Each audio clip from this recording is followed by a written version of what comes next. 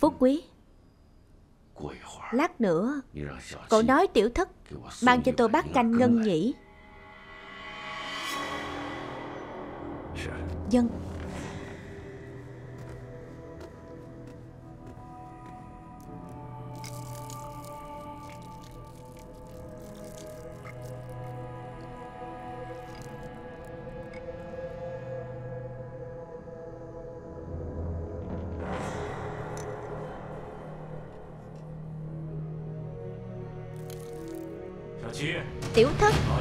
Lão gia bảo cô mang canh ngân nhĩ qua đó.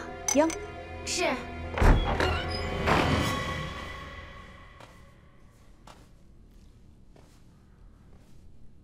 Ban ngày ban mặt đóng kín cửa không làm việc. Đây là cái gì? Đây là hương. Châm lư hương của bà hai. Đừng làm nữa. Mau đưa canh cho lão gia đi. Dân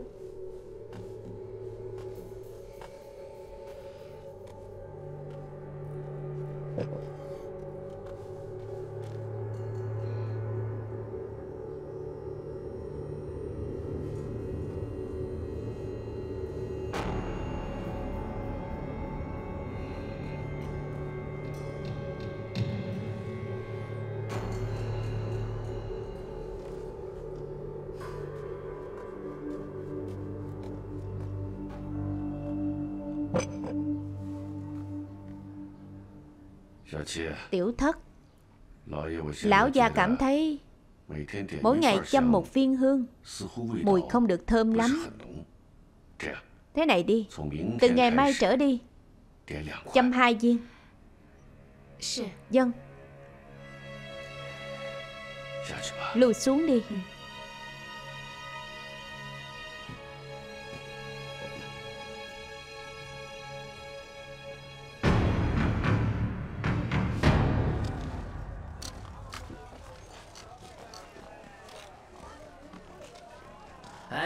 Nhẹ tay chút. Thiếu gia, thiếu gia Làm gì vậy? Cái này không phải cho cậu. Anh đi đâu vậy? Về nhà thăm mẹ. Trưa nay không phải đợi cơm tôi đâu. Là đi thăm mẹ hay là anh thăm tiểu thất cô nương? Trước đây đâu có thấy cậu hiếu thảo. Biển đi. Đi làm việc đi. Phần tôi với.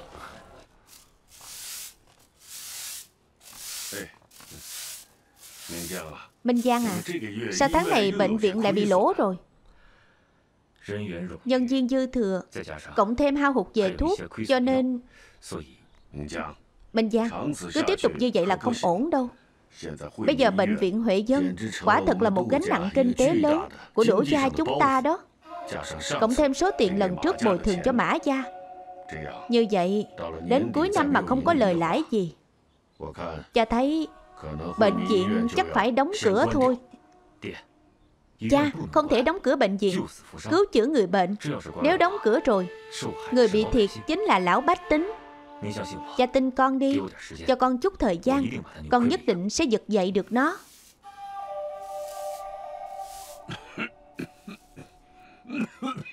Cha Cha không sao chứ? Sao cha lại ho rồi? Không biết tại sao. Dạo gần đây cha cứ cảm thấy Hay bị hoa mắt chóng mặt. Ăn gì cũng không ngon miệng. Lão gia, Chắc ông bị thượng phế hỏa rồi. Hay là thế này đi, Lát nữa tôi sẽ đi mua cho ông ít mã thầy về Rồi đun nước uống. Chắc sẽ không lo ngại gì đâu. Cha, Hay là đến bệnh viện nhà chúng ta khám xem sao. Không cần Không cần đi bệnh viện. Tiểu thất nói đúng. Uống nước mã thầy giải nhiệt, Có lẽ sẽ đỡ hơn thôi. Đi thôi.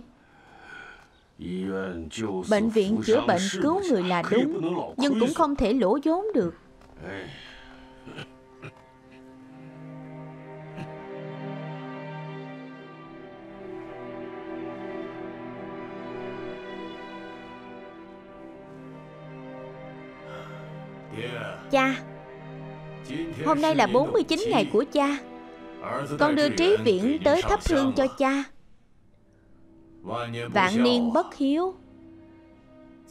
Nhà chúng ta không có người kế tục. Cháu đích tôn của cha không nghe lời.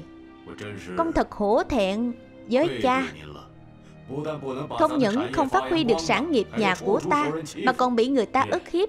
Cha à Những chuyện đó đã qua lâu rồi. Cha đừng có than giảng nữa. Nhắc lại chuyện cũ làm gì? Cha Con biết. Bến tàu Ký Dương huyện đã thuộc về Đỗ Gia rồi. Cha vẫn luôn không nuốt được cục tức này.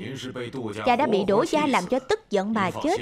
Cha yên tâm. Vạn niên còn sống ngày nào Thì nhất định sẽ dành bến tàu lại cho cha.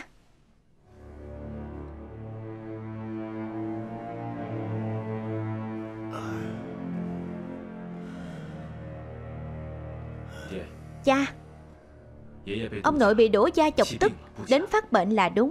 Nhưng tuyệt đối không phải là bị đổ da làm chết.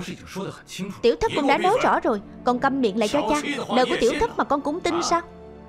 Không biết bây giờ cô ta đang làm gì không? Cô ta đang làm nha hoàng cho bà hai, Trong đổ phủ kia kìa. Tại nào mà con tìm cô ta mấy ngày nay không thấy? Con còn tưởng cô ta sang tỉnh bên rồi cái con tiểu thất này Lúc trước chắc chắn là được lợi lộc gì đó của đỗ gia Chứ không cha trả hậu hĩnh cho cô ta. Mà làm sao không tới chứ? Cha trong chuyện này chắc chắn có hiểu lầm gì đó Hiểu lầm. Bao nhiêu năm qua Đỗ gia dốc hết sức đối phó với chúng ta. Có chiêu gì mà chưa dùng? Mua chuột tiểu thất có gì mà không thể chứ. Cha à Quốc quốc, quốc pháp, gia có gia quy Tiểu thất của ấy chắc chắn sẽ không làm những chuyện vậy đâu。Theo lý mà nói Cái chết của ông nội không liên quan trực tiếp gì tới đỗ gia Cha nói còn đúng là đồ khốn nạn mà。Đỗ gia làm chết ông nội con con không nói. Tháng này Chúng ta còn thừa dịp lơ là chuyện kinh doanh Lén lút cướp hai khách hàng lớn của chúng ta. Hai cái tên khốn kiếp này. Chẳng những trả lại hàng cho ta Mà còn tung tin nhảm khắp nơi. Nói thuốc của chúng ta bị móc Chuyện này là thật sao? Chả lừa con sao? Vậy chứng cứ đâu? Chứng Vậy trả hàng có được tính là chứng cứ không? Rồi quay ra bán thuốc của đỗ gia thì có được là chứng cứ không? Tung tin khắp nơi rằng thuốc của chúng ta bị mất Thì có được là chứng cứ không? Đi đâu vậy? Bực bội. Con ra ngoài hít thở không khí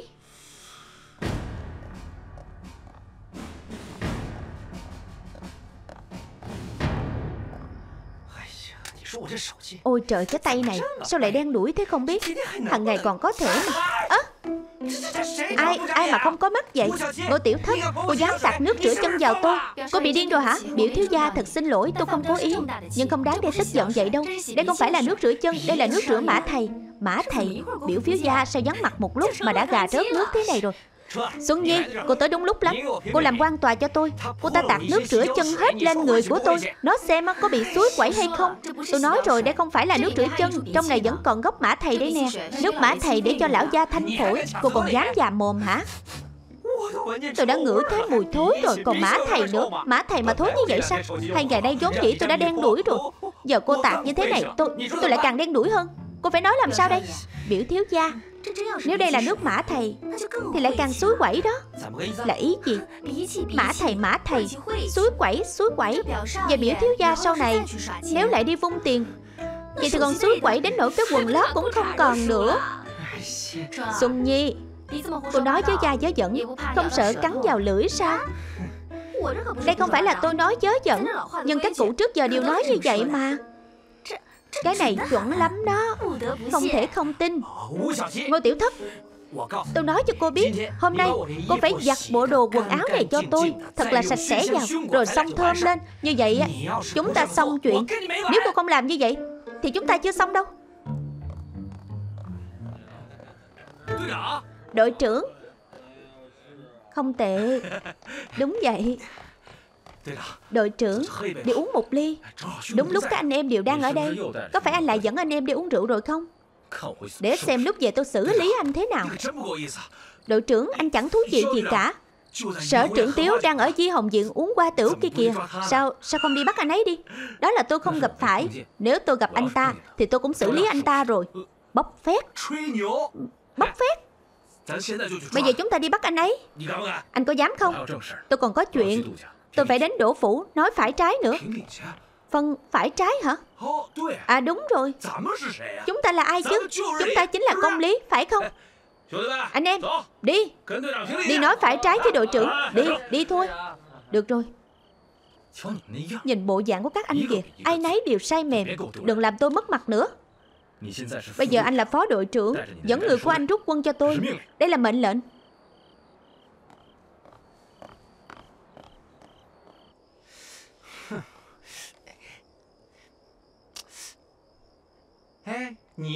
Cô giặt cho tôi, Dựa vào cái gì mà tôi phải tự cởi?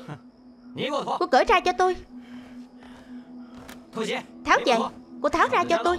Ông đây đỡ phải động tay vào, Đen đuổi cả người. Tháo ra. Tháo ra. Tháo ra đi.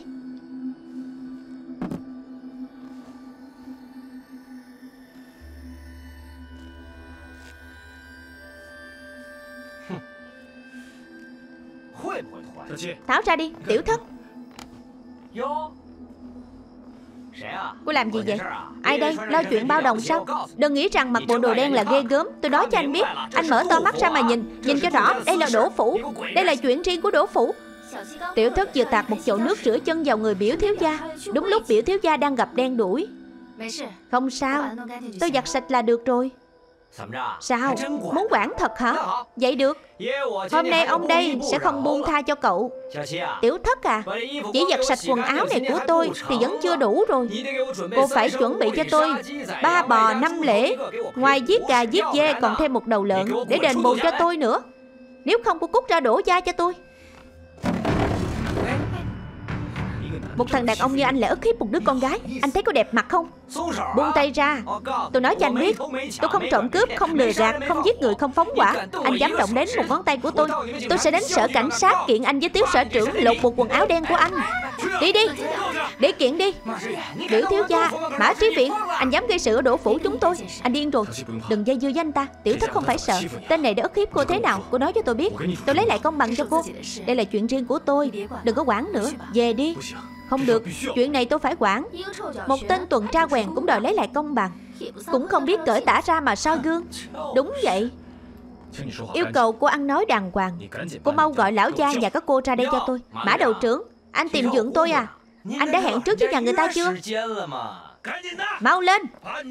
Mau gọi đổ biển sơn nhà anh ra đây cho tôi.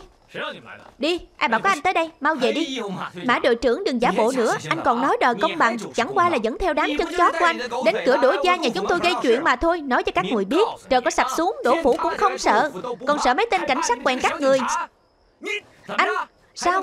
Còn muốn đánh người hả? Giờ nãy anh ta đẩy tôi Chính là cảnh sát ký dương huyện ức hiếp lão bách tính Còn dám gọi tên dượng tôi Ba tiếng đổ viễn sơn Đám cảnh sát quen các người dám gọi sao? Đừng nói là đám tuần tra nhảy nhép các người, Cho dù là huyện trưởng đến tìm lão gia của chúng tôi, Cũng phải tôn trọng gọi tiếng đổ lão gia Hà Gia bảo, Anh còn dám gọi chúng tôi là đám tuần tra giải nhép, Thì đừng trách tôi không khách khí với anh Nếu anh biết điều, Thì mau gọi lão gia nhà các anh ra đây Làm sao? Muốn cáo tội tôi à? Muốn bên giật cô ta, Anh hùng cứu mỹ nhân sao? Tôi nói cho biết không có cửa Lão gia đã dặn dò Người không phận sự và chó Miễn vào anh nói ai là chó hả? Nhảy số nhanh đó. Anh Sao? Được. Tôi nói cho anh biết, Cửa này, Hôm nay ông mày nhất định phải vào. Biểu thiếu gia. Thôi đi. Xuân Nhi, Nhanh gọi anh họ ra đây. Họ giết người rồi. Giết người rồi. Đi thôi, tiểu thất. Độc tại dị hương, Vi dị khách. Mỗi thùng giai tiết bội tư thân. giao tri huynh đệ đăng cao sở biến sáp thù du thiểu nhất nhân. Giết người rồi giết người rồi. Người đâu mau tới đây giết người rồi. Người đâu cảnh sát giết người rồi. Không ổn rồi không ổn rồi. Đi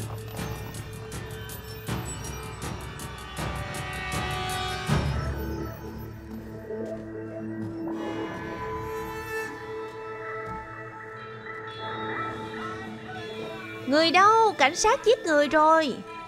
Không ổn rồi. Đại thiếu gia không ổn rồi. Mã trí viện tới cửa rồi. Nó muốn diệt cả đổ gia. Còn đánh cả biểu thiếu gia nữa. Còn gọi thẳng tên lão gia. Nói lão gia là lão súc sinh. Còn bảo ông ấy cút ra ngoài. Mã trí viễn còn nói. Anh ta còn nói gì? Đỗ Minh Giang là cái thái gì chứ? Kinh doanh không biết làm, Bệnh cũng không biết khám. Còn không bằng một lan trung giang hồ. Đúng là chẳng có loại đàn ông nào như thế cả. Giết người rồi Người đâu?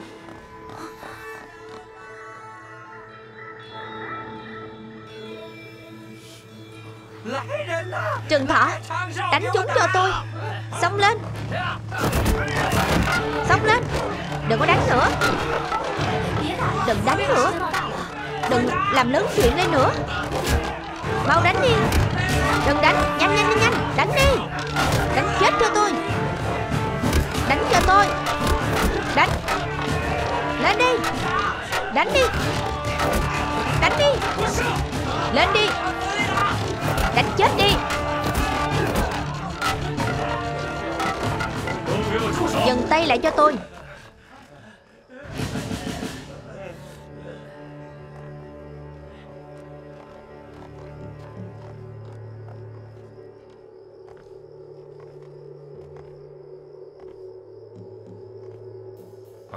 Mã đội trưởng. Có chuyện gì thế này? Đánh nhau một trận lớn như thế này, Động dao động súng. Có chuyện gì không thể nói chuyện tử tế với nhau được. Tôi vốn dĩ đi tìm đỗ lão gia để nói chuyện phải trái. Ai mà biết được em họ của anh là ức hiếp tiểu thất. Anh nói xem chuyện này, Tôi có thể không quản sao? Quản. Nhất định phải quản. Nhân dạo gần đây, sức khỏe lão gia không được tốt. Có chuyện gì thì cứ nói với tôi đi. Được. Vậy thì tôi nói thẳng. Tôi nghe người ta nói Đỗ lão gia, lén cướp khách lớn của Mã Ký. Vu cáo thuốc của Mã Ký lên móc, Khiến Mã gia chúng tôi tổn thất nặng nề. Bây giờ tôi tức giận đến mức chỉ còn nửa cái mạng. Anh nói xem chuyện này. Tôi có cần phải hỏi cho rõ không? Mã lão đệ, có phải anh hiểu nhầm gì rồi không? Cha tôi trước giờ chưa từng nhắc đến chuyện này. Các anh đều không biết đúng không? Xem ra tôi chỉ có thể vào đổ phủ hỏi đổ lão gia rồi.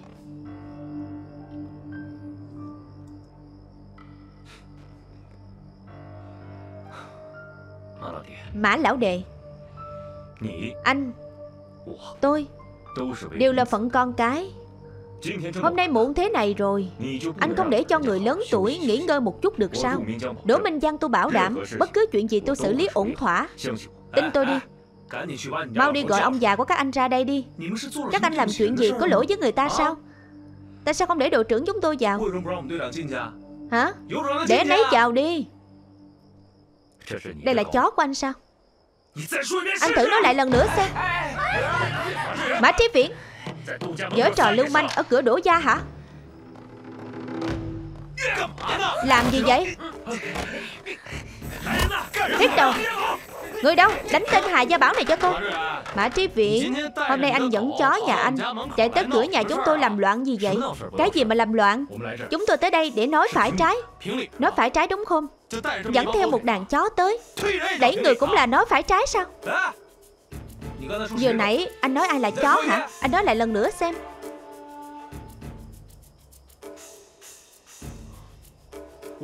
Tôi nói anh đó. Anh thử nói lại lần nữa xem. Làm gì hả? Đừng đánh nữa. Bỏ ra. Anh muốn làm gì? Tôi muốn đánh nhau hả? Muốn đánh nhau sao? Tôi nói cho anh biết. Đánh cho tôi. Các anh ra tay trước. Đại thiếu gia. Đại thiếu gia Nè Dừng tay, Các anh đừng đánh nữa. Tôi không sao chứ. Tôi không sao. Đại thiếu gia. Đánh mạnh vào, Đánh chết cho tôi. Đừng đánh nữa. Đừng có đánh nữa. Được rồi, dừng tay. Đừng có đánh nữa. Mã đội trưởng, Đừng có đánh nữa. Đừng đánh nữa. Dân lại Mã đội trưởng. Đừng có đánh nữa.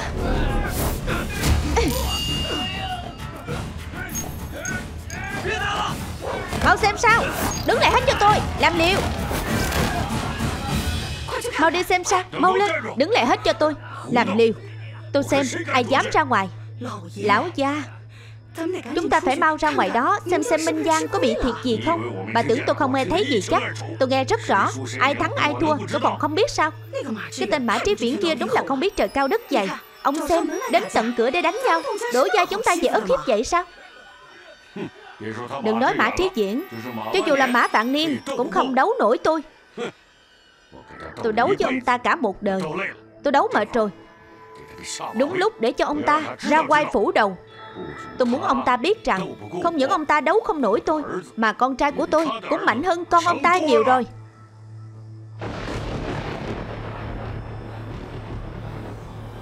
Được rồi, Trời sắp mưa rồi. Mau về đi. Về đi. Dân. Đánh cho tôi. Tôi xem ai dám đáo sự. Đánh. Đánh đi. Cút. Dừng tay.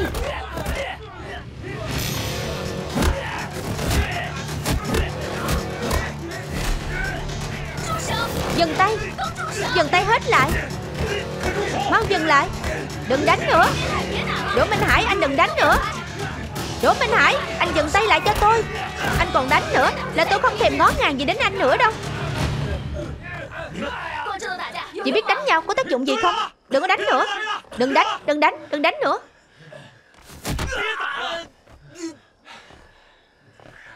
Không đánh nữa, Không đánh nữa.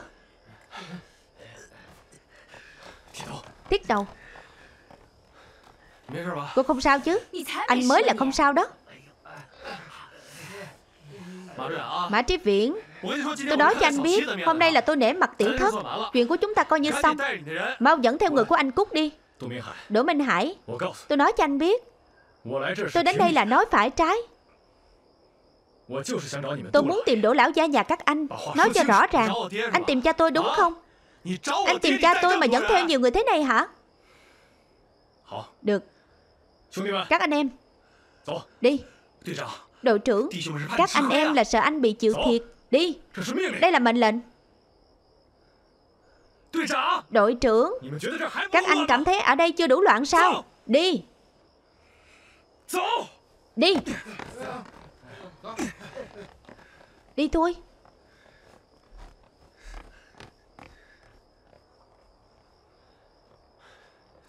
Cha đâu? Ở trong đó. Vào đi. Nhất định muốn vào đúng không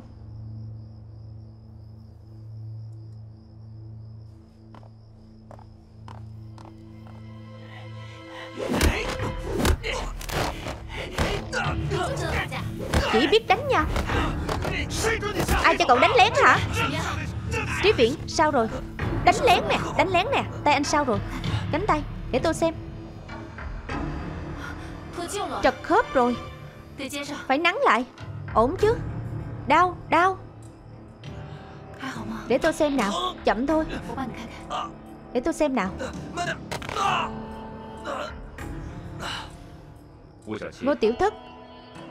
Cô ăn cơm của Đỗ Gia Làm việc cho Đỗ Gia Làm thế này có thích hợp không Ăn cơm của Đỗ Gia Tôi dù gì cũng là một lăng trung Nói thế nào đi nữa Anh cũng là viện trưởng của bệnh viện Huệ Dân Nhân nghĩa đạo đức của anh đâu hết rồi。Đây là anh ta tự chuốt lấy。Được rồi。được rồi Lăng nhăng mãi。Đi cái gì mà đi？Minh Hải Người tốt dễ bị bắt nạt. Lại có lần sau nữa thì phải làm sao? Lần sau thì có em đây.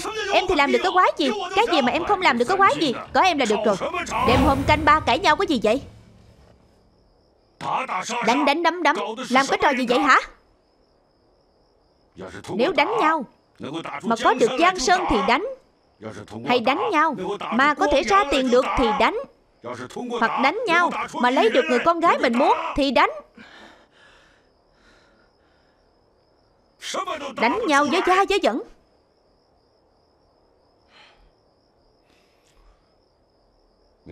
Minh Giang, Con, Mau đưa Mã Trí Viễn đến bệnh viện Huệ Dân, Chữa trị cho cậu ta.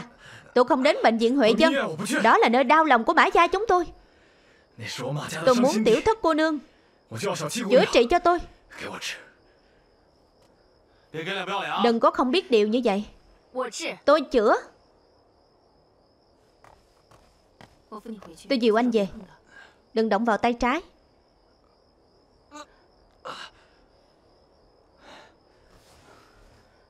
Nè.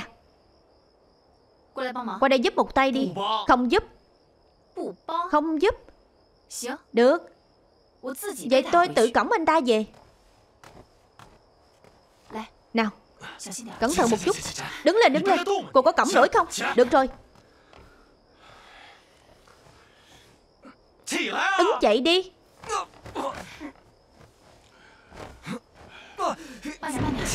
Đứng dậy nhẹ thôi Từ từ chút. Cha. Hôm khác tới thăm cha. Đỗ lão gia tôi đi một chút rồi về. Chậm thôi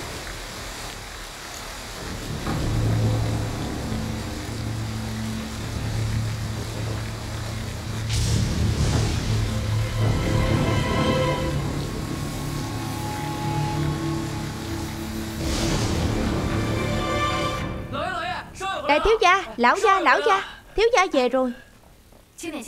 Nhẹ chút, nhẹ chút. Chẳng phải bảo anh cẩn thận tay trái rồi sao? Đàn ông Không có sao đâu. Tôi khám cho anh ta chút.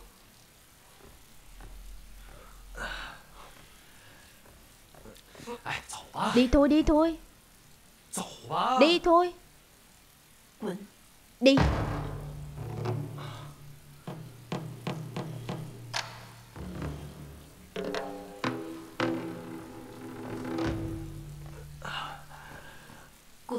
Có thương đến xương không?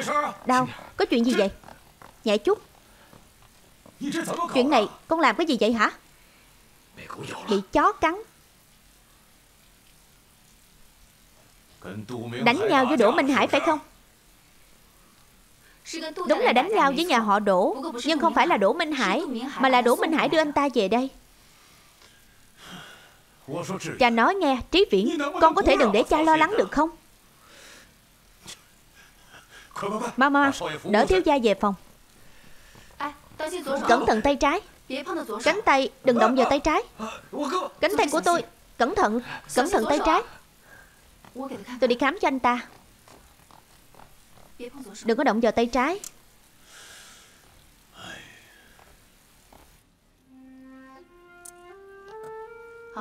Dưỡng thương cho tốt. Lát nữa về tôi sẽ chuẩn bị thuốc cho anh. Xương tay cần phải dưỡng thương Không có cách nào khác đâu. Vất vả cho cô rồi. Vất vả cái gì? Từ ngày có nữ lang trung cô tới ký dương huyện này Mã gia chúng tôi không có ngày nào được yên. Mã lão gia. Câu này của ông là có ý gì? Chẳng có ý gì cả. Lúc trước lão thấy gia nhà chúng tôi bị đổ gia chữa chết. Cô làm chứng cho đổ gia Bây giờ con trai tôi lại bị đổ gia đánh trọng thương Thì cô cũng có mặt trong đó. Cô nói xem chẳng phải cô là sao chổi sao? Cha chuyện này không liên quan đến tiểu thất. Nếu không phải tiểu thất Có khi cha không gặp được con nữa rồi. Cái thằng con này Người ta một lần bị rắn cắn Mười năm sợ dây thừng Còn con Mười năm bị rắn cắn Thì con cũng chẳng sợ dây thừng một chút nào. Con tưởng cha không biết sao? Tên Đỗ Minh Hải kia cũng thích con tiểu yêu tinh này Hai đứa là vì đứa con gái này mà đánh nhau đúng không? Mã lão gia. Tôi thừa nhận. Mã Triết Diễn vì trút giận cho tôi mà bị thương. Nhưng anh ta đến đó là để nói phải trái với Đỗ Viễn Sơn. Chẳng phải là đòi công bằng cho Mã Gia sao? Con Con Con đúng là không thấy quan tài không đổ lệ. Con nói phải trái gì chứ? Đó chẳng phải là gà nói với vịt sao Mã lão gia. Hôm nay tôi đưa con trai ông về đây rồi. Ông chẳng những không cảm ơn tôi Ngược lại còn cái gì mà Chụp mũ tiểu yêu tinh cho tôi nữa. Hôm nay coi như anh ta may mắn. Lần sau Tôi nhất định thấy chết không cứu. Dưỡng thương cho tốt tôi về đây. Tiểu thất. Nằm yên đó. Cha Sao cha chẳng có lương tâm gì vậy? Cái gì mà không có lương tâm? Tức chết đi được.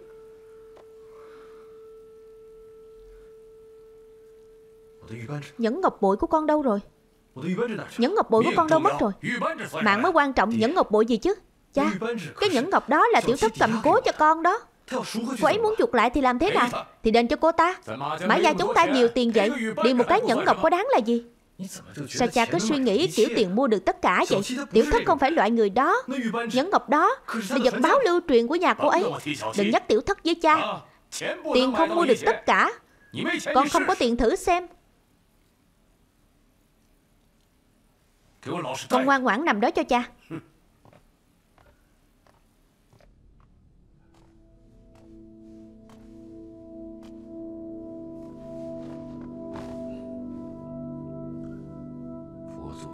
Phật tổ trên cao.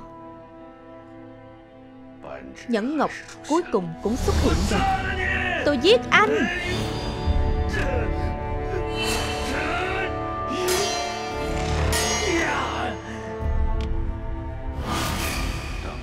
Chuyện năm đó E là có tránh cũng không tránh nổi rồi.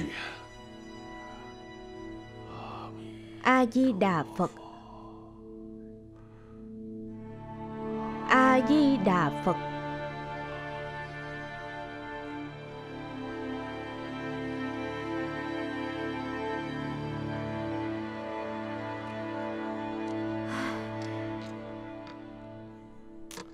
Hồng Trung. Đông Phong. Tôi nghe nói cái cô ngô tiểu thất kia. Làm nha hoàng trong phủ các anh. Anh cũng biết cô ta sao Tôi thích cô ta. Tôi muốn lấy cô ta làm vợ Nhưng cô ta có chết cũng không chịu. Anh nói xem ngô tiểu thất có phải là đứa không biết tốt xấu gì? Làm vợ thì không muốn Lại cứ thích chạy đến phủ chúng tôi làm nha hoàng. Đúng là đồ não ngắn. Bài gì thế này? Sắp thắng rồi. Đánh quân nào đây?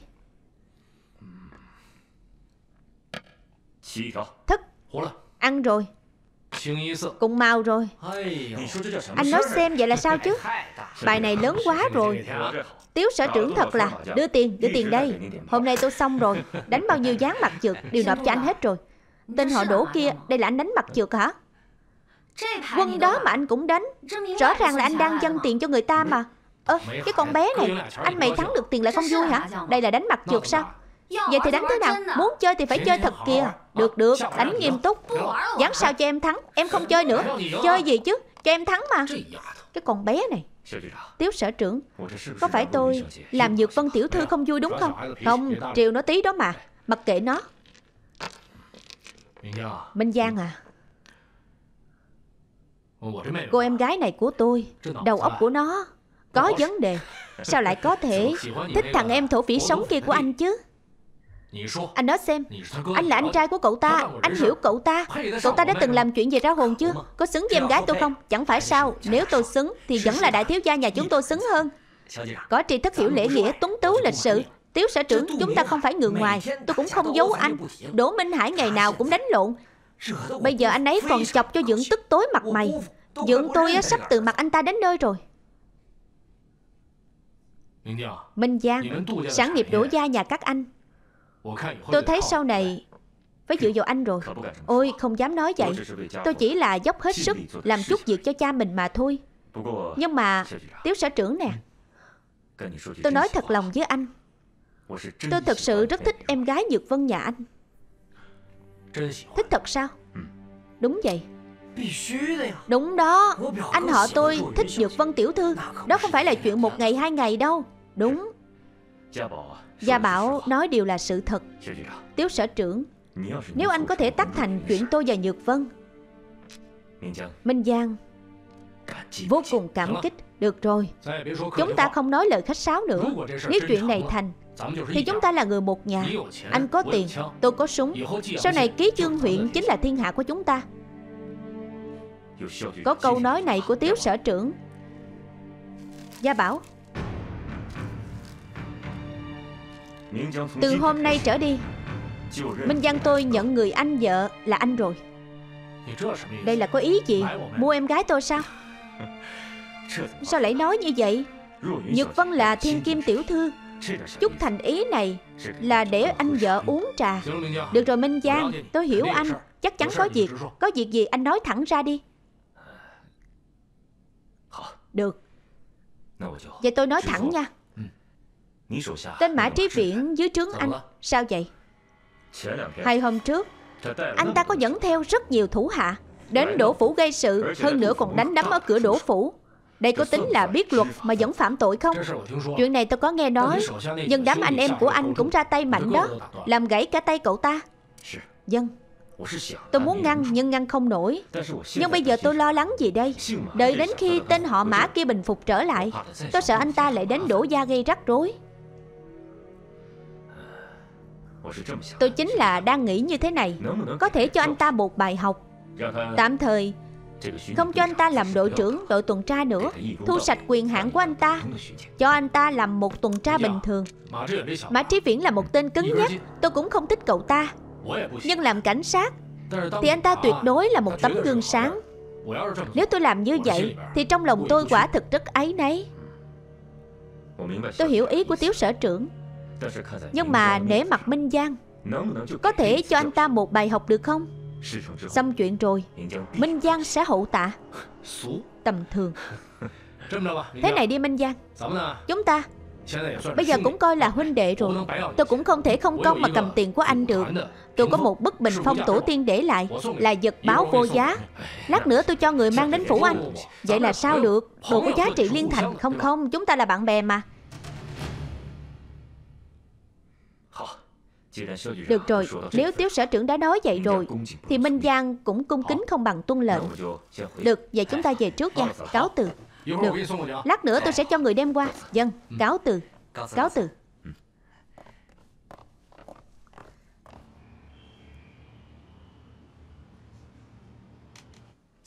Kim Thủy, cậu khách khí như vậy làm gì?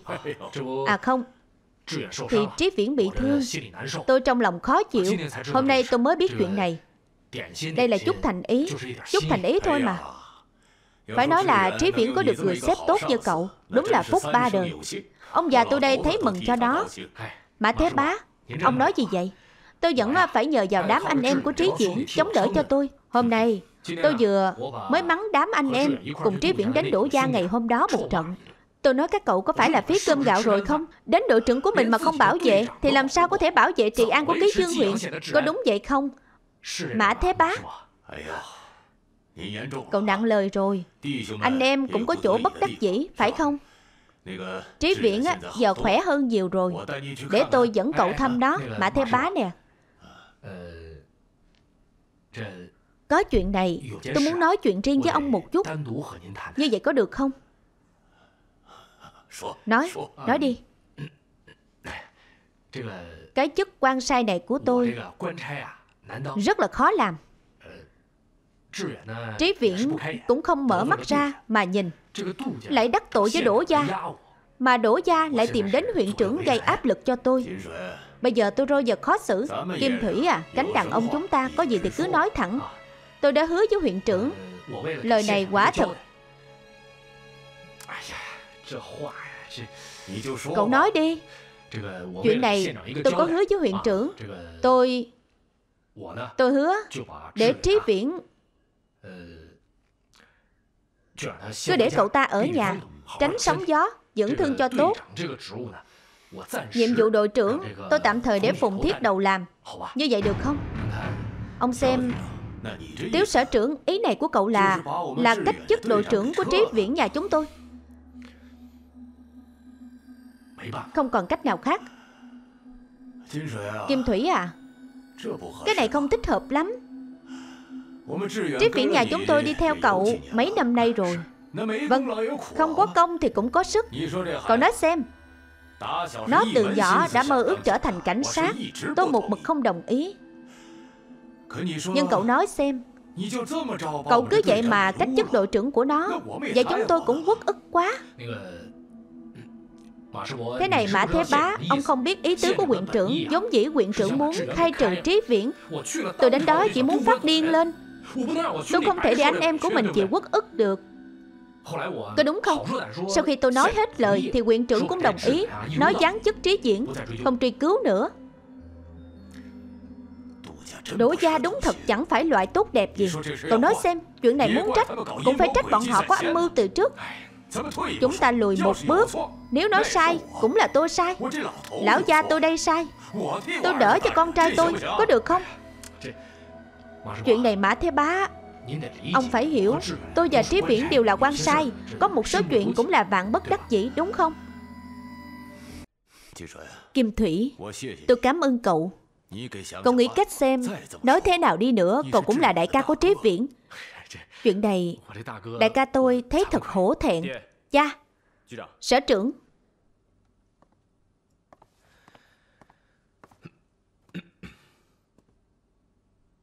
Mọi người nói chuyện.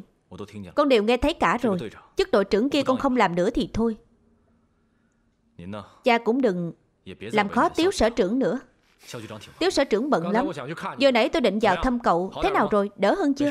Không sao, đỡ nhiều rồi Được。Thấy cậu không sao là yên tâm rồi。Chịu khó ở nhà dưỡng thương Không cần dội đến sở Chuyện công việc tôi sẽ chịu trách nhiệm cho Được chứ？Dân Về Mã Thế Bá Tôi còn chút chuyện Tôi về trước Được, đi đi。Về được, tôi về đây。Đi thông thả, dưỡng thương cho tốt nha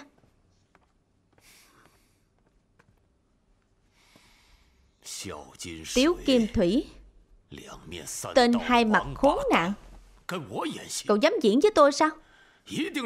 Chắc chắn là cậu đã ăn gì của đổ gia rồi. Trí Viễn Không cần phải để bụng. Đúng lúc thừa dịp này Bỏ việc cảnh sát giặc này đi. Về nhà dưỡng thương cho khỏe. Cha. Con làm cảnh sát Không phải vì thăng quan. Con trai à con làm cảnh sát không vì thăng quan thì là vì cái gì? Con làm cảnh sát chính là vì muốn làm cảnh sát, không có lý do gì. Con làm cảnh sát là để phục vụ cho đất nước, chứ không phải phục vụ Tiếu Kim Thủy. Cho dù con không làm được chức đội trưởng này, thì con vẫn tiếp tục làm cảnh sát.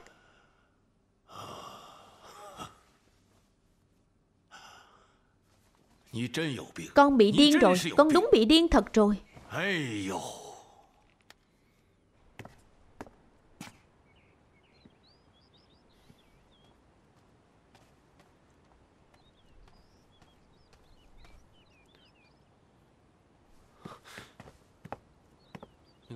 ！Cô đi đâu vậy? Đi đâu? Tôi đang hỏi cô đấy. Tôi đi đâu thì liên quan gì đến anh? Không phải Có có biết là mỗi lần tôi về nhà là khó khăn lắm không? Tôi cần phải gặp anh không? Cô căng gì chứ Tôi nói cho cô biết. Cô đừng tưởng tôi không biết cô đi đâu. Chẳng phải cô muốn đến nhà họ mã đó sao? Cô nói xem lúc nào cô cũng dính với anh ta làm cái gì? Cô muốn tôi mất hết mặt mũi sao? Tôi đi gặp anh ta thì liên quan gì đến anh? Không liên quan phải không? Mối quan hệ giữa chúng ta Như thế nào cô không rõ phải không? Chẳng phải là nhị thiếu gia nhà họ đổ sao? Xin lỗi cái mát nhị thiếu gia nhà họ đổ này tôi thật sự không thích. Cô đừng có quên Hôm đó là ai? Ngồi ở đầu phố nói là muốn gả cho tôi. Nếu như cô đã nói cô muốn gả cho tôi Vậy thì chúng ta quan hệ gì? Tôi quên rồi. Tôi từng nói vậy sao? Cô nói lại lần nữa. Tôi quên rồi đó Thì sao? Chó ngoan không trắng đường Không sao hôm nay tôi sẽ làm chó. Hôm nay cô phải nói rõ với tôi làm gì vậy? Đừng có lôi kéo. Bỏ ra. Bỏ tay ra. Được, không động vào cô. Không động vào cô. Được chưa? Muốn làm gì thì làm đi. Đi đi Đi đi. Đừng có quay lại đó. Đừng để tôi nhìn thấy cô. Sao? Cho dù tôi muốn đi, Cũng là tự tôi đi. Không cần anh phải nói. Tôi không nói. Đi đi Đi tìm anh ta đi. Mau đi đi. Người ta đang đợi cô đó. Mau lên. Liệt tổ liệt tông. Bốn đời mã gia chúng ta Ba đời làm quản gia. Ông nội là tổng quản tam phẩm Của hậu cung Đại Thanh.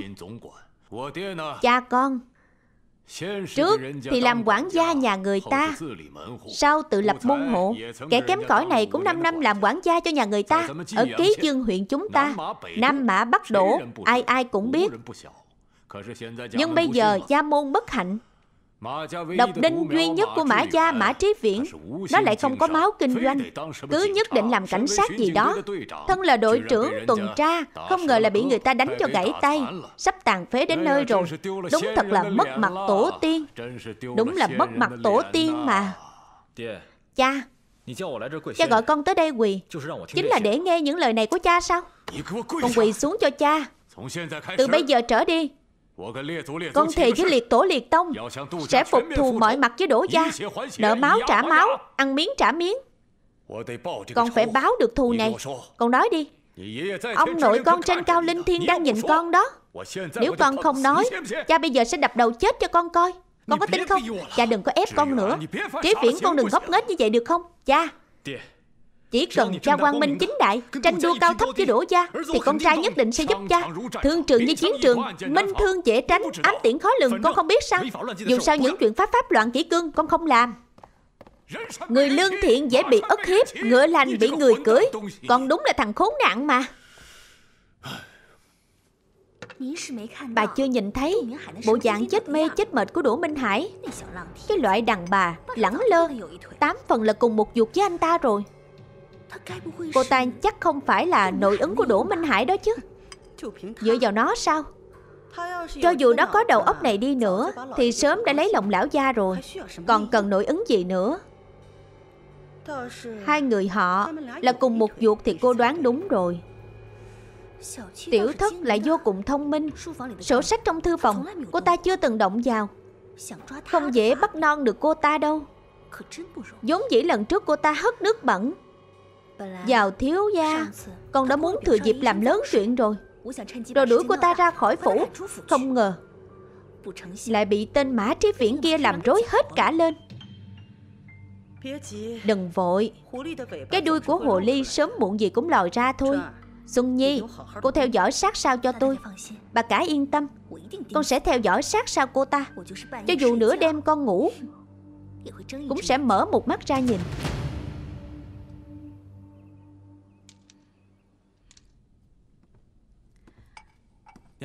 Mẹ.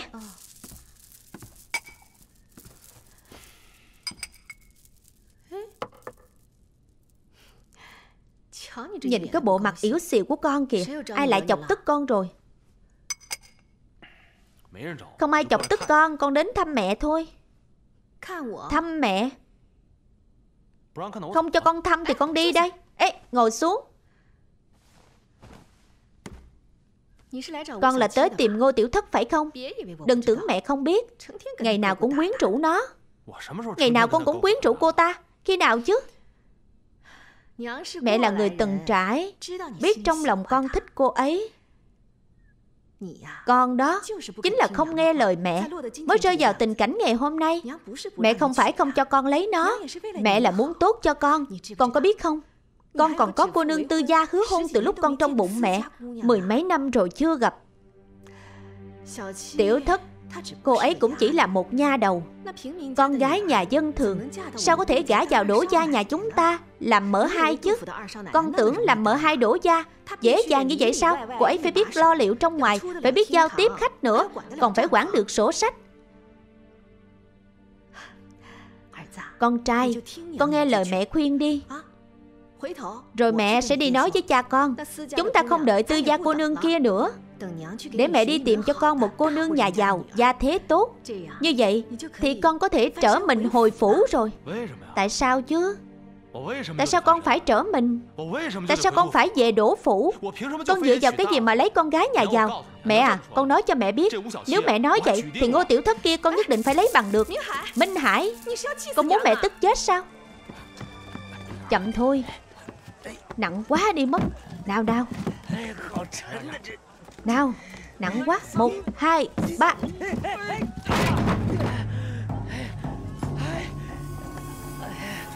Nhanh nhanh nhanh. Mau đặt lên. Đừng để họ nhìn thấy ta làm hỏng. Nhanh lên, Mau. Mau lên. Cái gì mà nặng vậy? Quản nhiều làm cái gì? Chúng ta đã đổ mồ hôi lấy tiền sinh sống rồi. Đi thôi. Làm việc thôi, Làm việc thôi.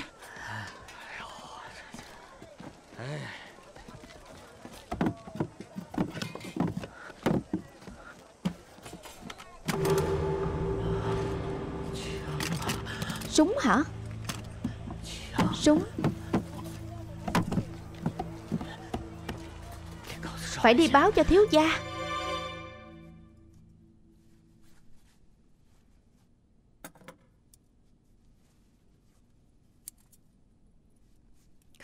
Nhìn gì mà nhìn? Nhìn đến nỗi lòi cả mắt ra rồi. Như vậy Thì cô mới mãi mãi nằm trong tâm trí của tôi. Mã lão gia! Mã lão gia Tôi có chuyện gấp tìm ông. Chuyện gì vậy? Lửa cháy đến đích rồi. Chuyện hôm nay gấp Tôi cũng chẳng thấy mã gia đâu. Tôi đoán là ông đang ở nhà Nên chạy tới đây. Có chuyện gì mà gấp vậy? Xong rồi Cánh tay anh đã hồi phục tương đối rồi. Đây là lần cuối cùng tôi tới thay thuốc cho anh. Sau này tôi không cần tới nữa. Đừng mà. Tay của tôi chưa khỏi hẳn. Chưa khỏi. Thì anh tìm thầy thuốc cao minh khác đi. Ngô tiểu thất tôi không chữa được cho anh. Được rồi, tôi về đây.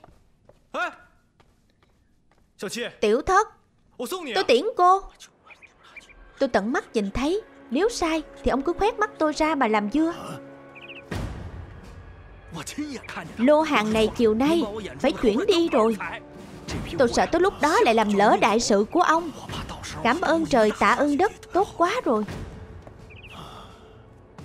Thế này đi. Cậu cứ để yên. Theo dõi sát lô hàng này cho tôi. Bến tàu có động tĩnh gì, Thì báo cho tôi biết. Tôi đã báo anh em để ý rồi. Cầm lấy. Cầm hết cho tôi. Mã lão gia, tôi tới đây. Không phải vì tiền. Số tiền này anh cứ cầm lấy. Về đi. Để ý đừng để người khác nhìn thấy. Tiểu thất. Tiểu thất, Đừng để người khác nhìn thấy. Sao đi vội vậy? Chỗ tôi còn có việc, tôi đi trước đây. Tiểu thất, tôi tiễn cô. Tiểu thất. Về nhà sao? Cánh tay anh ấy đã hồi phục tương đối rồi. Tôi về trước đây. Cảm ơn nha. Tự chăm sóc bản thân cho tốt. Tiểu thất. Đi với cha. Đến nhà tiếu sở trưởng. Cho còn chuyện gì nữa? Đại sự. Đây là một chuyện lớn. Khiến ký dân huyện kinh thiên động địa. Con không đi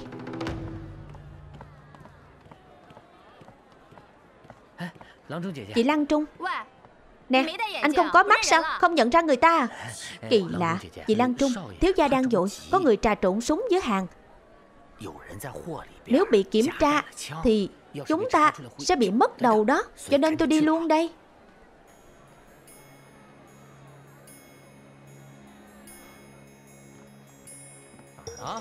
Ở đâu? Chính, chính là ở trong đó.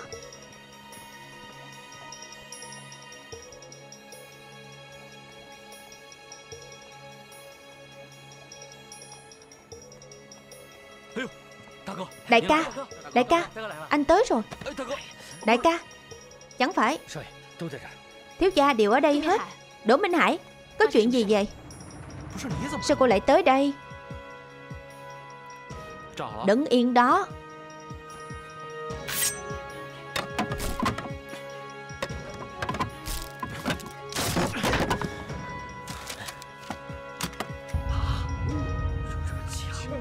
Đây chẳng phải là súng sao? Nhiều súng quá Đều là súng.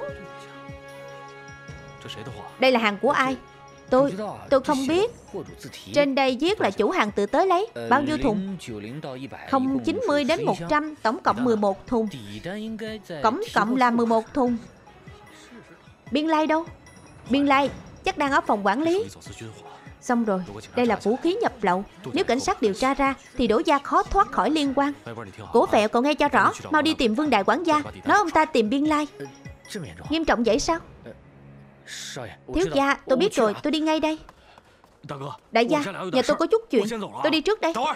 Đứng lại. Đại ca. Các anh đều có thể đi.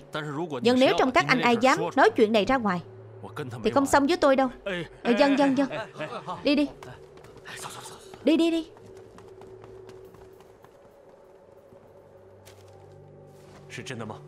Thật không? Bây giờ ở bến tàu có người trong rồi. Bảo ông còn biên lai mau chóng qua đó. Cậu về trước đi. Tôi đến phòng quản lý lấy biên lai. Dân.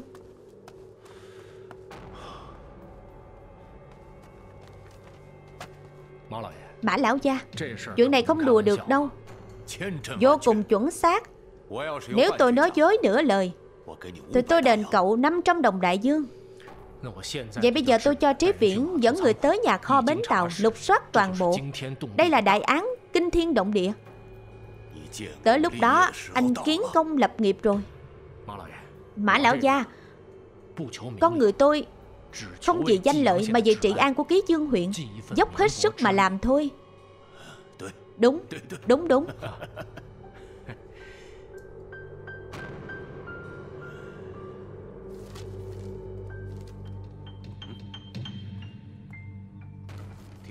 Lấy hàng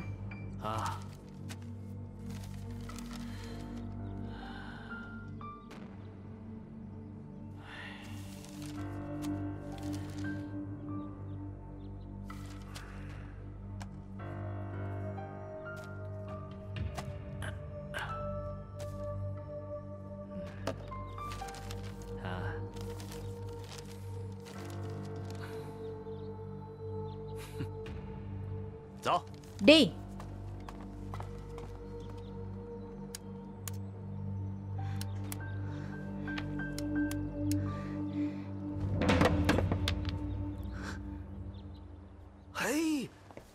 Cái thằng con ranh này Để xem tao túm cổ mày thế nào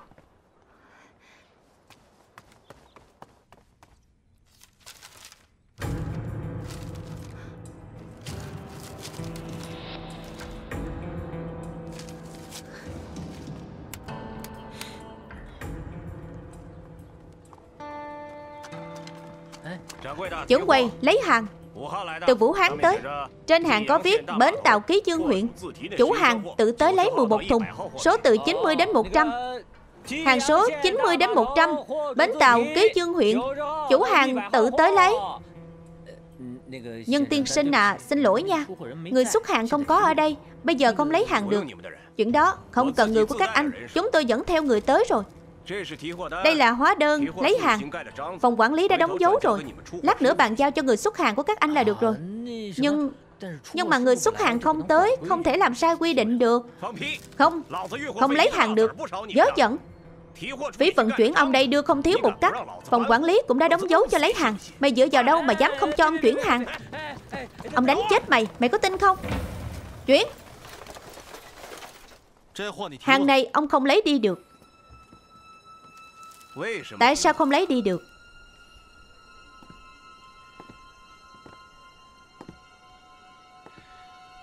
Ông buôn lậu vũ khí Nên số hàng này ông không lấy đi được Lên cho tao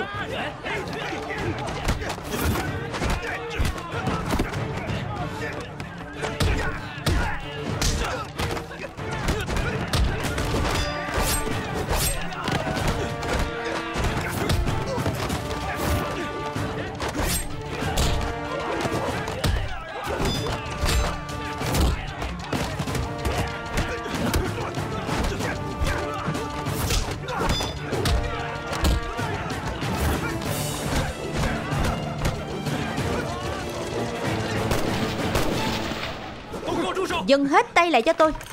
Tất cả đứng yên. Anh tới đúng lúc lắm. Đám người này buôn lậu vũ khí.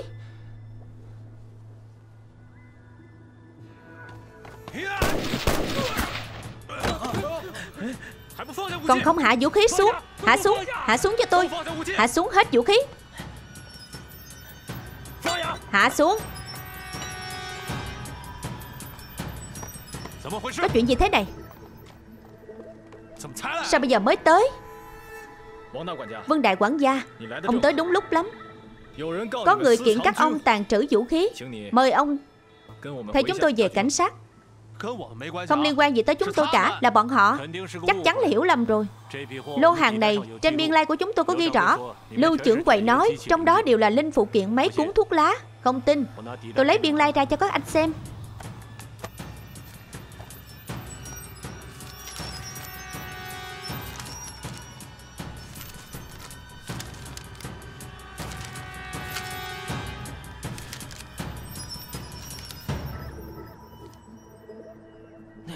Có tờ đó mà.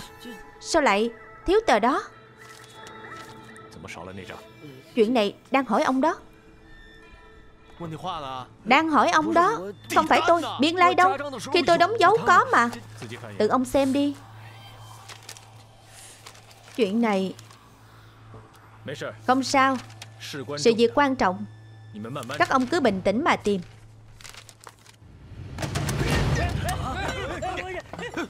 Bỏ súng xuống.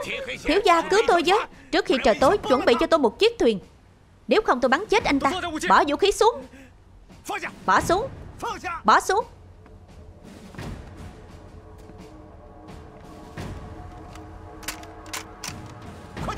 Bỏ xuống. Mau lên. Bỏ xuống.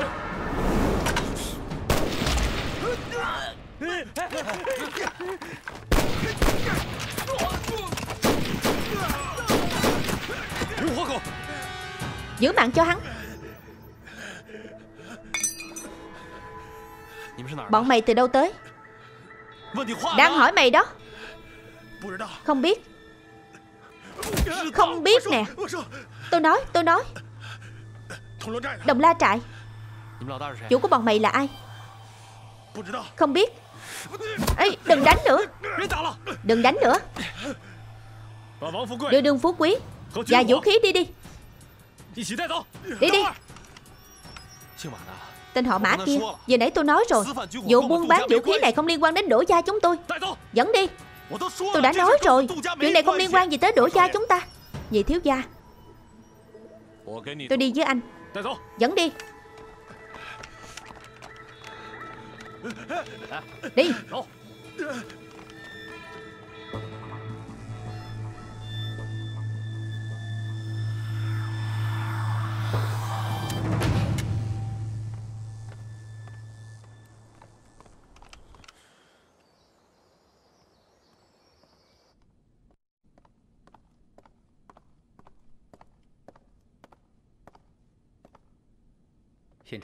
Huyền trưởng Bên ngoài có một dân phụ muốn gặp ngài.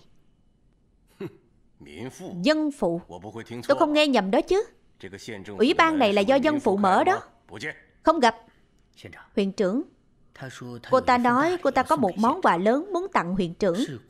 Liên quan đến chuyện lên chức của huyện trưởng. Được rồi, được rồi. Để bà ta vào đi. Dân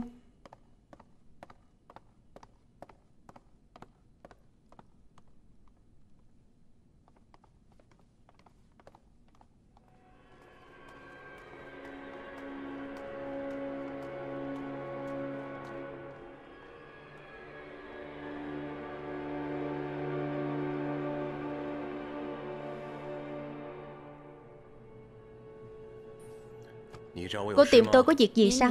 Dân nữ mang một món quà lớn Tới tặng cho huyện trưởng. Cô hai tay không tới Mà lại nói là món quà lớn muốn tặng cho tôi.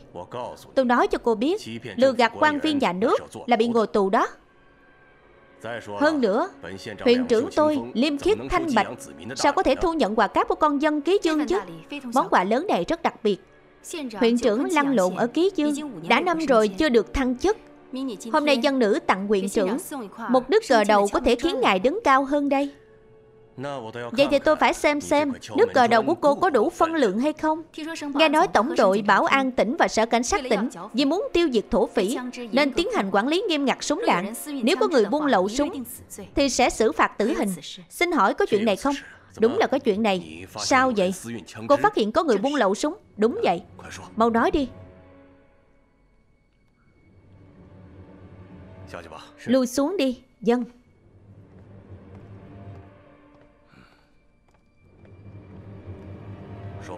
Nói đi Bây giờ trên bến tàu của Đỗ Gia có 11 thùng súng ống.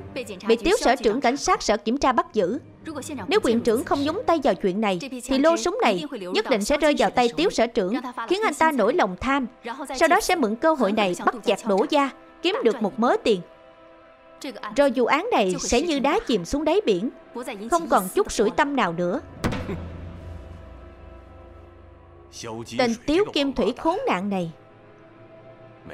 Mỗi lần tôi hỏi anh ta dạo này có dự án lớn nào không Anh ta đều nói toàn là những chuyện nhỏ nhặt không đáng kể.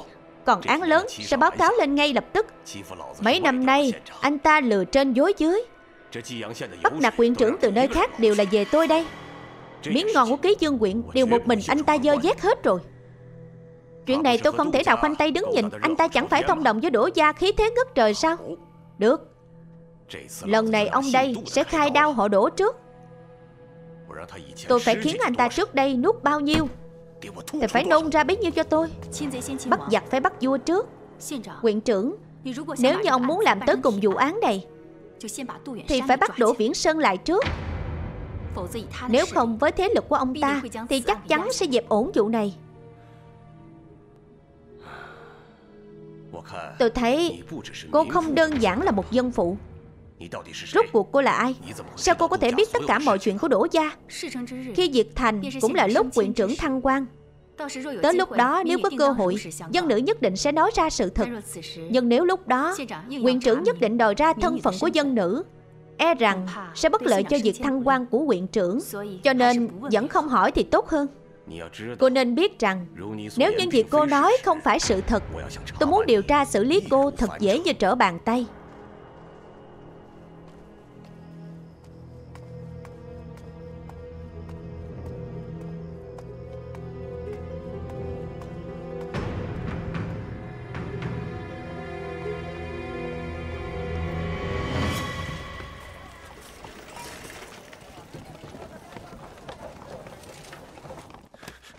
Biên lai sao lại mất?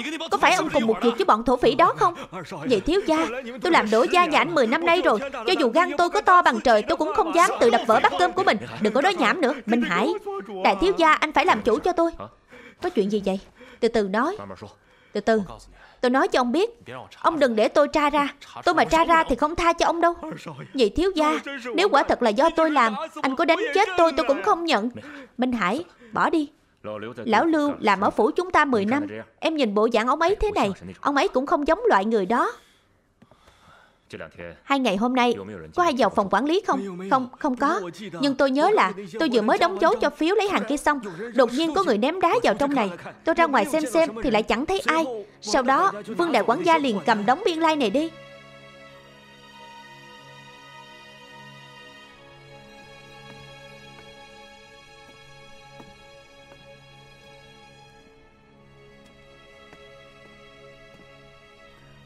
Cha Cha phải nghĩ ra cách. Chuyện này rất khó giải quyết. Nói suy nghĩ của con xem nào. Cởi nút thì phải tìm thắt nút. Đại quản gia bị Tiếu Kim Thủy bắt đi rồi. Tên họ Tiếu này trước giờ đều là nhận tiền không nhận người. Lần này bị hắn nắm được đằng chui rồi. Mặc dù không liên quan gì tới đổ gia chúng ta, Nhưng dù sao biên lai cũng bị mất rồi. Chúng ta một chốc một lát không nói rõ được. Vậy ý con là Chuyện cứu đại quản gia là chuyện nhỏ. Chuyện bến tàu đổ gia bị kiểm tra niêm phong Là chuyện lớn. Chi tiền? Nói rất đúng. Tiếu Kim Thủy trước giờ với đổ gia chúng ta Đều là bằng mặt Không bằng lòng. Tiếu Kim Thủy là tên tiểu nhân tham tiền phụ nghĩa. Lần này lại bị hắn nắm được đằng chui. Xem ra hắn nhất thời sẽ không buông tha cho chúng ta cứ chi tiền đi. Coi như của đi thay người. Phải bằng mọi cách. Cứu đại quản gia ra. Con đi xử lý đi. Dân. Con đi xử lý ngay.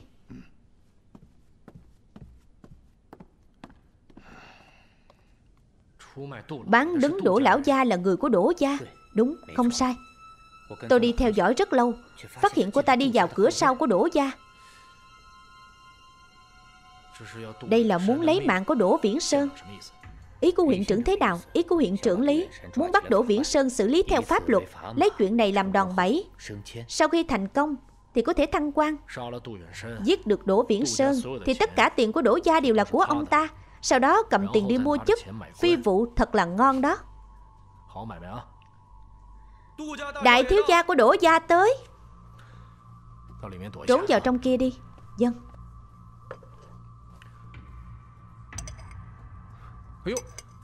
Minh Giang tới đó sao? Gia Bảo.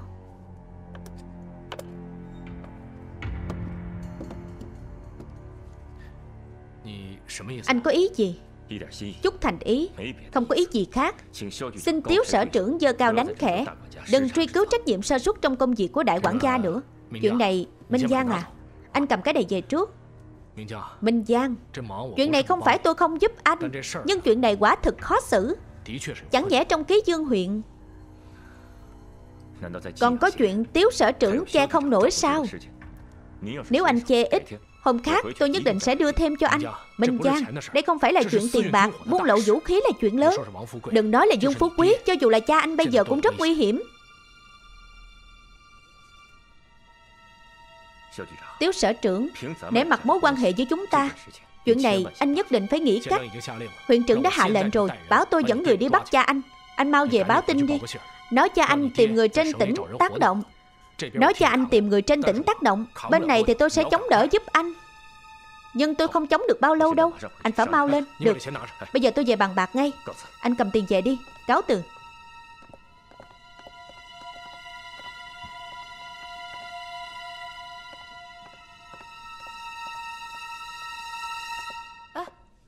Anh Đỗ gia xảy ra chuyện gì? Sao họ đi một cách hoảng loạn vậy? Cây tiền đổ gia E rằng không trụ nổi nữa rồi. Vậy Minh Hải không sao chứ? Cậu ta không sao. Lần này là cha cậu ta Buôn lậu vũ khí.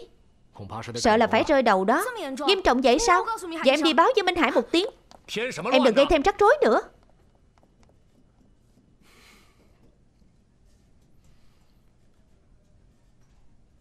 Thiết đâu?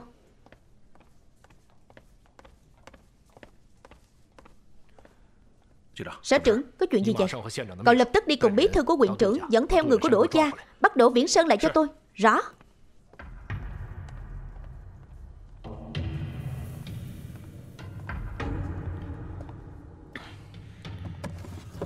Nào, người anh em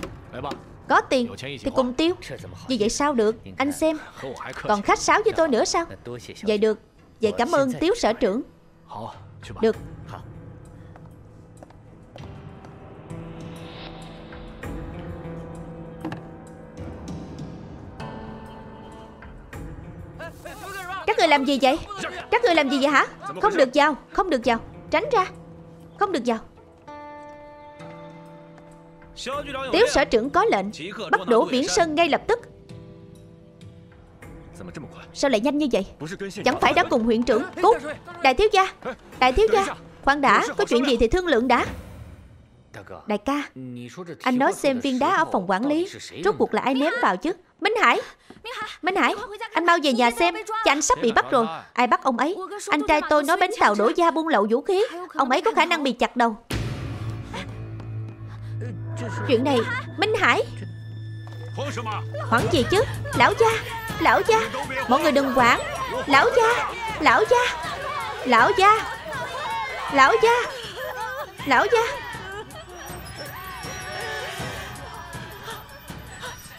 Lão gia. Trời, sập xuống đổ phủ rồi. Mẹ Mẹ đừng lo.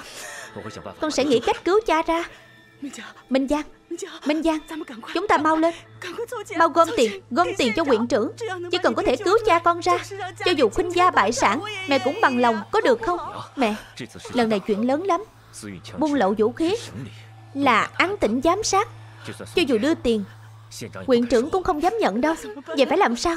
Phải làm sao đây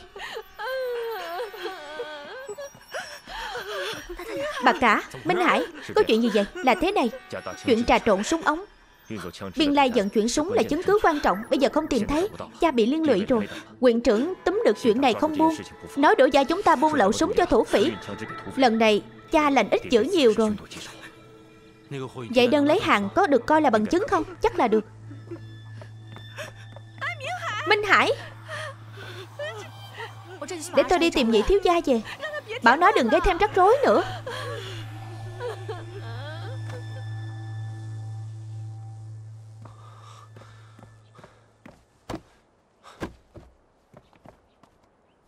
Minh Hải, Anh làm gì vậy? Bà hai đang tìm anh về kìa. Tôi tìm đơn lấy hàng. Tìm đơn lấy hàng gì chứ? Đơn lấy hàng sao có thể ở đây chứ? Anh không tìm thấy đâu. Vậy tôi phải thử xem sao.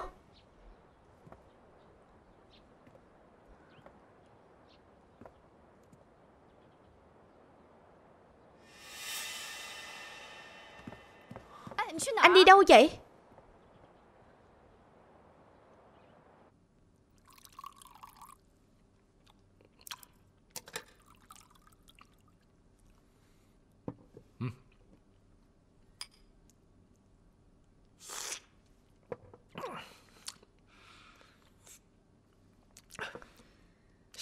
Tiếu sở trưởng Chúng ta thẳng thắn nha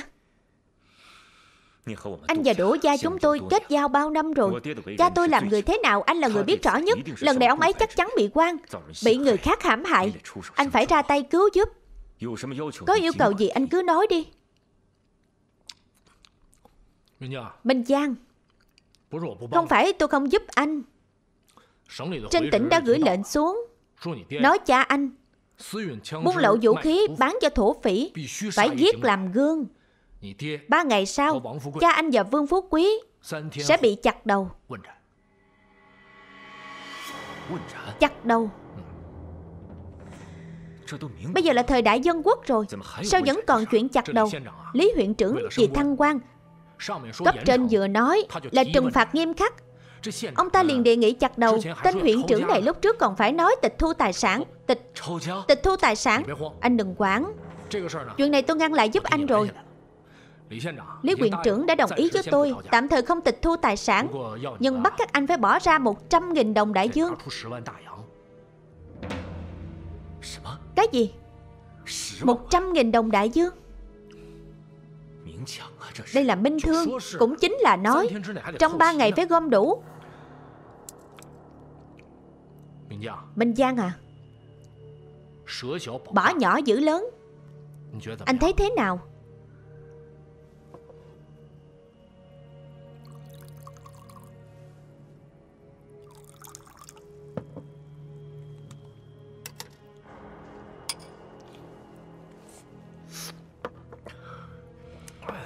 Được.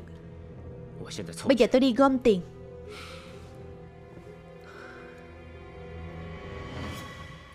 Tiếu sở trưởng, Đại ân đại đức của anh đối với Đỗ Gia chúng tôi. Đỗ Minh Giang tôi luôn ghi nhớ trong lòng. Cảm ơn anh. Minh Giang Minh Giang, Nào đừng dội. Vẫn còn chưa nói hết mà. Vẫn còn một chuyện quan trọng nữa. Tôi phải nói cho anh biết. Còn chuyện gì nữa? Đỗ Vạn Niên mượn gió bẻ măng Nói đổ gia các anh kinh doanh trái phép. Tôi đoán là chắc chắn ông ta dùng tiền để mua chuộc quyền trưởng rồi. Quyền trưởng trong lúc tức giận. Đã quyết định hủy hợp đồng quyền kinh doanh trong huyện Của đổ gia các anh rồi. Chuyện này không thể được. Tiếu sở trưởng Chuyện này anh phải ngăn lại giúp tôi. Bến tàu này là nửa cái mạng của cha tôi đó anh nói xem một sở trưởng cảnh sát nhỏ bé như tôi Có thể chống chọi được với quyền trưởng sao? Đúng không? Vậy cả cái mạng của cha anh mất rồi. Anh cần nửa cái mạng kia làm gì chứ?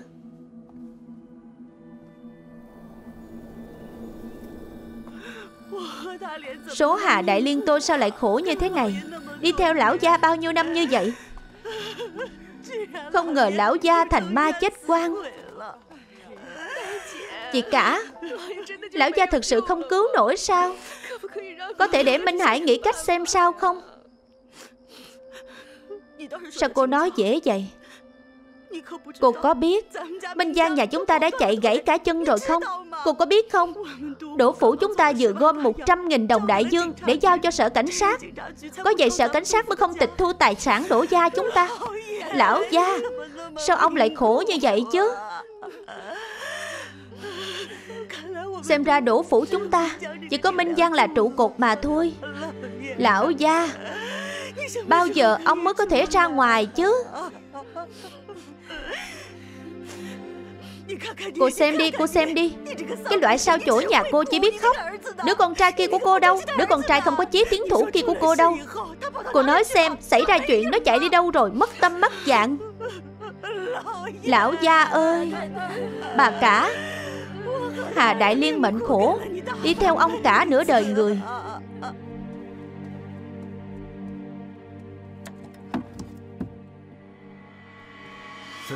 Đây là 30.000 đồng đại dương đổ gia đưa tới, Không thiếu một xu. Cái gọi là Nam Mã Bắc Đổ Đổ gia giàu có như vậy.